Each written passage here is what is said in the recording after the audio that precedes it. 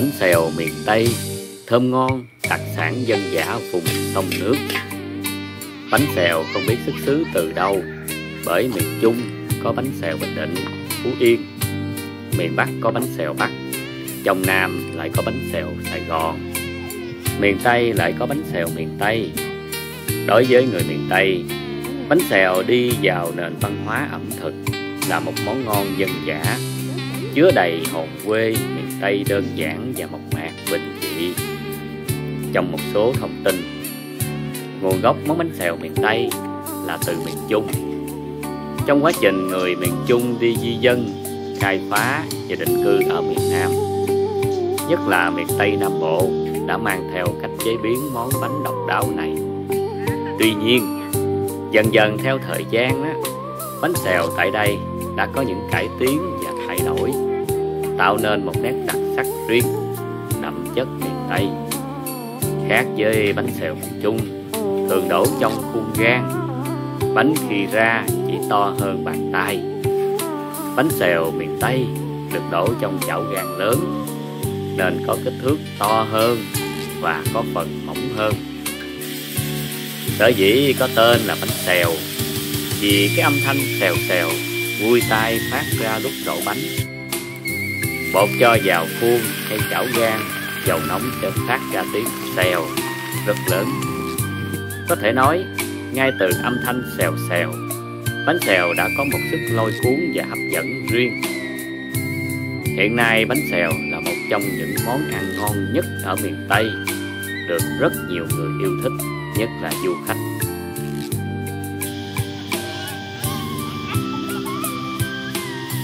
Từ trước đến nay bánh xèo vẫn là một trong những món ăn ngon, quen thuộc của vùng quê miền Tây sông nước, vừa mộc mạc mà lại vừa bình dị.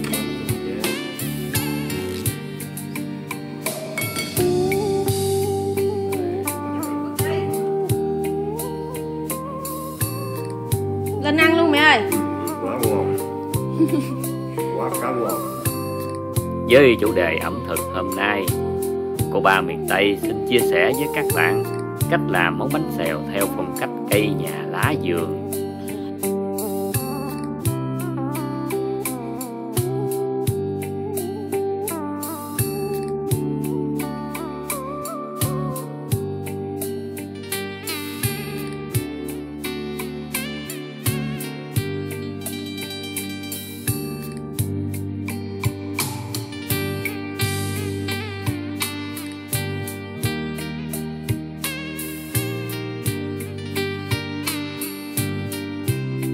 Bánh xèo món ăn dân dã và bình dị. Bánh xèo gồm có hai phần chính, đó là vỏ bánh và nhân bánh. Vỏ bánh xèo được đổ từ hỗn hợp bột gạo và có khi cho thêm một ít bột mì. Theo cách làm dân dã trước đây, để đổ bánh xèo, người miền Tây thường tự xay bột từ loại gạo thơm dẻo thượng hạng họ dùng cối đá xanh để mà xay bột.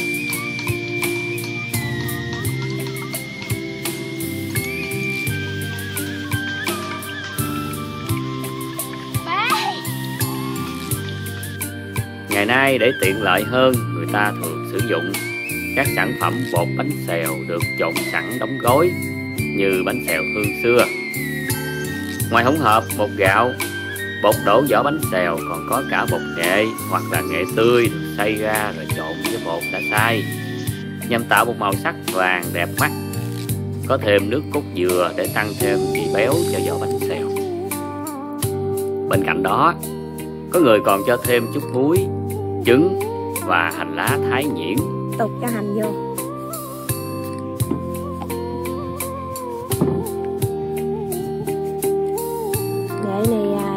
do là nghệ tươi cho nên là cái màu nó sẽ không được đẹp cho lắm Về phần nhân thì nhân bánh xèo miền Tây thường rất đa dạng. Thường thì dùng tép tươi bắt được từ sông. Có khi thì thêm thịt heo, có khi thì củ hủ dừa, có khi thì củ sắn sắc ga, hoặc cũng có khi là đổ bằng nấm mối. Và dĩ nhiên phải có thêm giá đổ.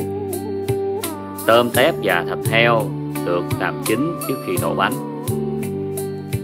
Cách đổ bánh xèo. Để đổ bánh xèo người ta sẽ chuẩn bị một cái chảo thật lớn. Thường thì đổ bằng chảo gan bánh sẽ giòn và ngon hơn. Khi chảo nóng người ta dùng mỡ heo hay dầu ăn bỏ vào. Đến khi dầu hay mỡ sôi thì chan một lớp bột bánh xèo vào bề mặt chảo. Người đổ sẽ xoay chảo để bột lan đều khắp trong chảo. Lớp bột càng mỏng, bánh xèo sẽ càng giòn. Tiếp đến, họ cho tôm tép, thịt, giá đỗ Nói chung là nhân và một góc của bánh xèo Rồi đậy nắp chảo. Đợi khoảng 1 đến 2 phút là bánh sẽ chín. Dùng xẻng để gấp đôi bánh lại và cho ra dĩa.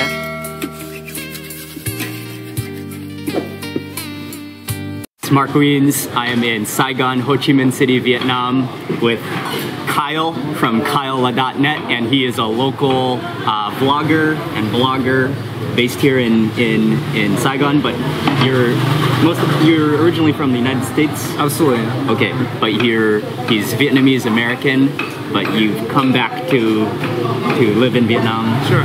Um, and he's also a lover of food, so it's great to be hanging out with him. And we have just come to a restaurant called, which is which is probably the most famous restaurant in Saigon for a dish called ban seo. Ban seo. And uh, the restaurant is called Ban Seo 46. Is 46 or 46A. 46A.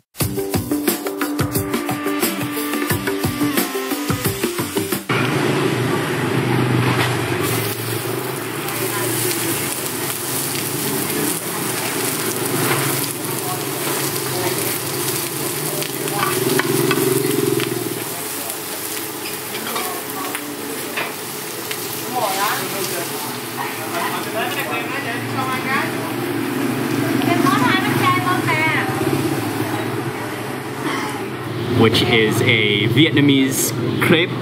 Um, well, yeah, uh, uh, a big, huge crepe, which is crispy and filled with a bunch of different ingredients. I'm not even sure what it all includes. Uh, but yeah, it just came to our table, so I am excited to try it for the first time. It's also served with a huge pile of vegetables, uh, raw, raw vegetables, lettuce. I can see a bunch of herbs, some basil, um, yeah, a bunch of different herbs. What is the best way to eat it? The best way is really up to you. There's really no correct way, but most people will wrap uh, a portion of it up in some lettuce, put in a bunch of herbs, and then the most important thing is you have to dip it in the fish sauce. Oh, okay, okay. Have your way with it. Okay, so Kyle told me there's really no correct way to eat this. You can really Right. eat it however you Right. like. Yep, Um, and like that. and And yeah, make sure you get right some now. of that pork. Oh, yeah. Make sure you have a shrimp in there as well. and then are you supposed to dip? Are you supposed to dip or like put it inside the No, you, no, actually, you should you should uh, just dip. You can just dip, Yeah, it's okay. better that way. Yeah. Okay. As much as you can. Cause that's what gives the uh, this dish the flavor. Go for it, man.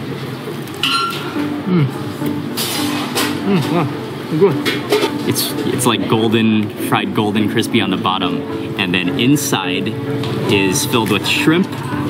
And th- these are mung beans. She she sprinkled a handful of mung beans in it, as well as a handful of bean sprouts. And there's some pork in there as well. I'm gonna try to tear off a piece and try to get like try to tear off a piece and try to get everything into a single into a wrap up like that. Did I get everything in there? Maybe a few more bean sprouts. And then I'm gonna. Oh, that looks awesome.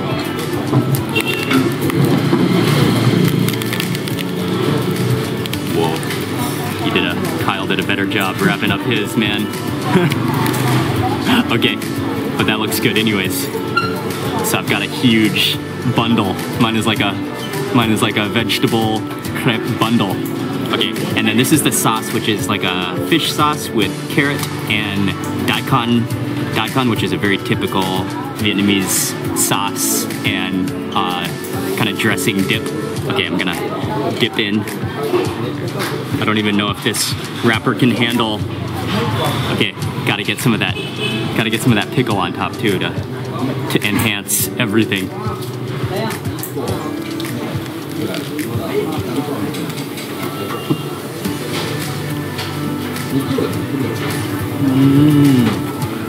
What I really love about so many Vietnamese dishes is the the contrast of freshness to like something crispy or something um, like rich. So the the beautiful raw vegetables go so well with the with the crepe that's kind of kind of oily and crispy. Um, whoa! And we got things falling out of my my little bundle. And then the sauce is a little bit sweet and and kind of salty as well. So that just brings it all together.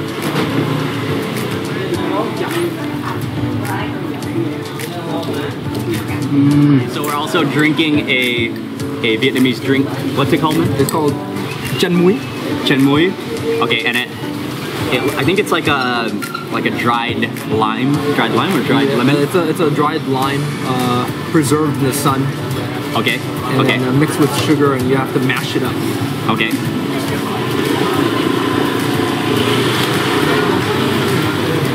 I think I had a seed stuck in my straw.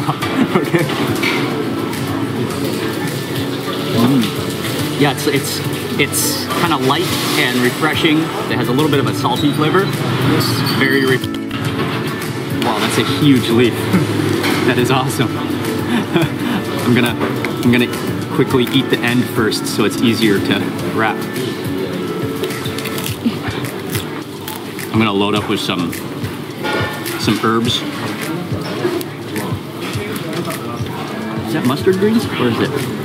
what it is. I'm not sure what vegetable that is. Yeah, but it if you eat it plain, it almost has a wasabi. yeah. It's like a horseradish. Is it horseradish leaves? I'm not sure what type of leaf. Anyways, okay, that looks good. Tear off, uh, stir off some of the crunchiness.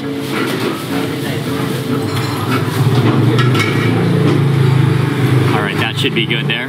I missed the chili the first time, so I'm just gonna load it up with some chili. Oh yes. I'll just stuff that all in, wrap it up. Should be good. And then give it a good generous dipping.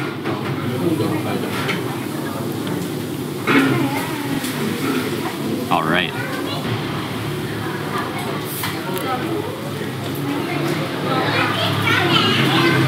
Mm. Oh yeah, dude. With that chili.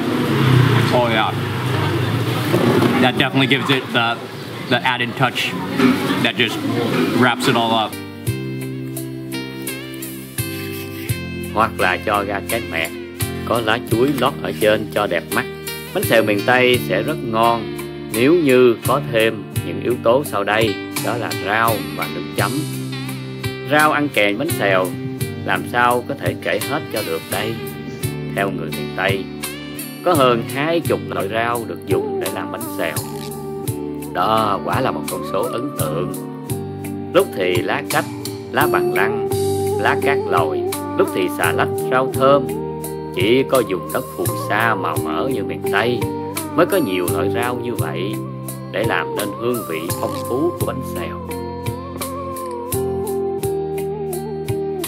Hôm nay cô ba miền tây ăn bánh xèo với các loại rau dân dã miền tây của chính vùng đất cô ấy có, đó là đọt tòi lá cách đọt đậu rồng, rau diếp cá, cải, húng quế và đậu thơm. Tất cả loại rau này phải ra vườn hái thôi, không có thì đi xin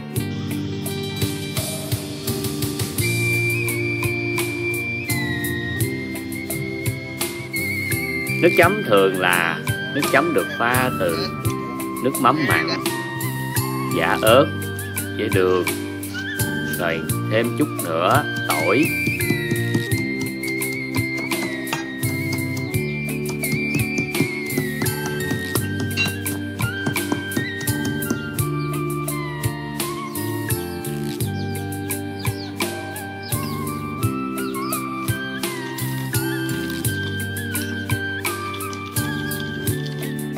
Bánh xèo có thể ăn trực tiếp bằng cách cuốn cùng rau xanh tất cả hương vị chua chát của rau, nữa là vị nước cốt dừa của vỏ bánh.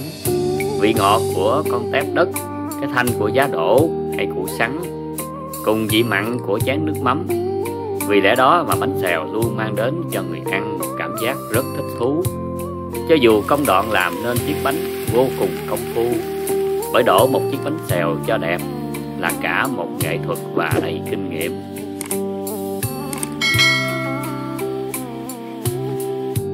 Nhìn vào dĩa bánh xèo. Chẳng khác gì một bức tranh cực kỳ hấp dẫn. Hơn thế, qua việc thưởng thức bánh xèo, người ăn sẽ hiểu rõ hơn về văn hóa ẩm thực bằng tất cả giác quan và hấp dẫn của vùng đất phương Nam.